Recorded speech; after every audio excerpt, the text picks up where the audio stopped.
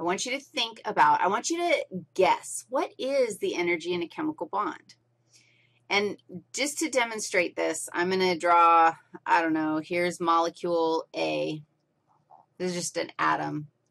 And I'm going to draw a chemical bond. Does that work? With another molecule, B. And what was a chemical bond? Remember, all we're doing is essentially we're sharing electrons between these two atoms. And in the, the act of sharing electrons literally sticks them together. I want you to think about these two atoms like they are magnets. And go with me on this. I have a blue magnet and a yellow magnet. Wow. Look, I have to make them like that in order to make them match up with my color, except it's yellow, not whatever, focus. Tell me this. Imagine that the magnet, the stickiness of the magnet, would you agree that my two magnets are actually bonded together? Tell me, if I wanted to break the chemical bond between my two magnet molecules, am I going to have to put energy in to do that, or am I going to have to, um, or, or do you think energy is going to be released to break these two apart? Grab some magnets. You can play with them if you'd like. Can you accept the fact that I actually have to apply energy? I have to flex my muscles a little bit. I have to use some of my gummy bear in order to break these guys apart. Do, do you agree with that? I'm going to write that down right now. To break a chemical bond, you must put energy in. You have to use up some energy to break that chemical bond. Now, Visualize this. If these really are two molecules, what's true about them? They're moving. They have their own kinetic energy.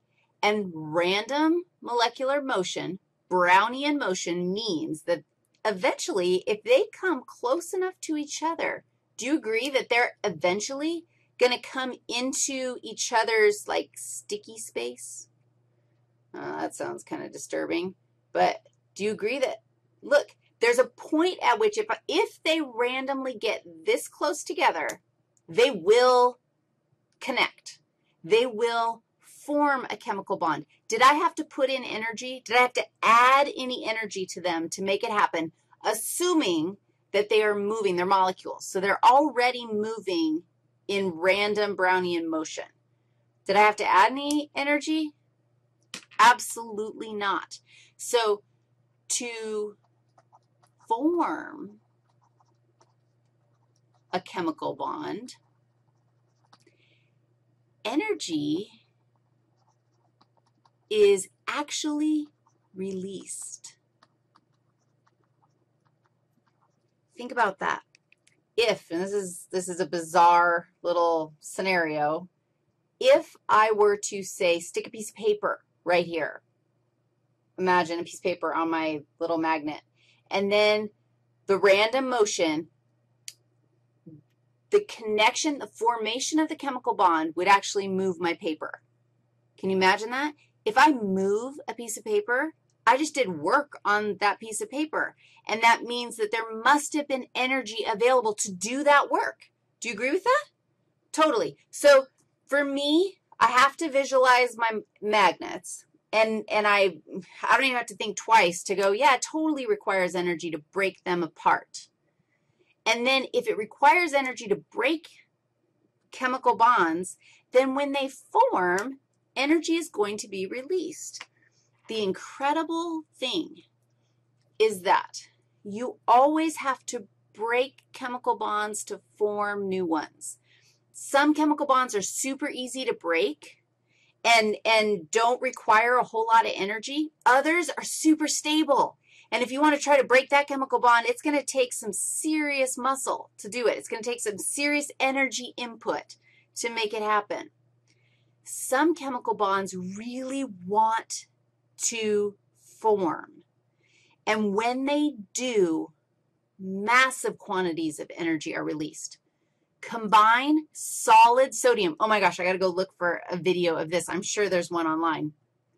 Solid sodium, not sodium chloride, just plain sodium. If you add sodium to water, the, I don't know, the desire to form a chemical bond between sodium and water molecules is so gigantic. They're like, they're so attracted to each other that this massive quantity of energy is released. Never combine elemental sodium with water because it, it's like a bomb. You'll have a, just an incredibly massive uh, release of energy because chemical bonds are forming. We can, this is, this is clutch. This is key to understanding, okay, our whole process of getting energy out of our food, where did it come from, how did we get it? You want to make sure you understand that breaking those chemical bonds requires some energy to do. Now, the energy, that, that is considered activation energy. That's why we have activation energy. And activation energy is basically a little bit of energy that you must put in in order to cause a chemical reaction to occur. And I, I need to tell you this now.